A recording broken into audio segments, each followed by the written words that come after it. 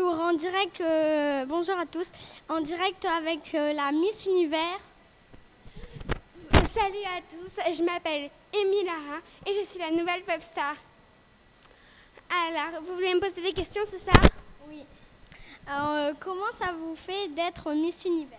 Eh bien, franchement, je m'y attendais pas du tout. Hein.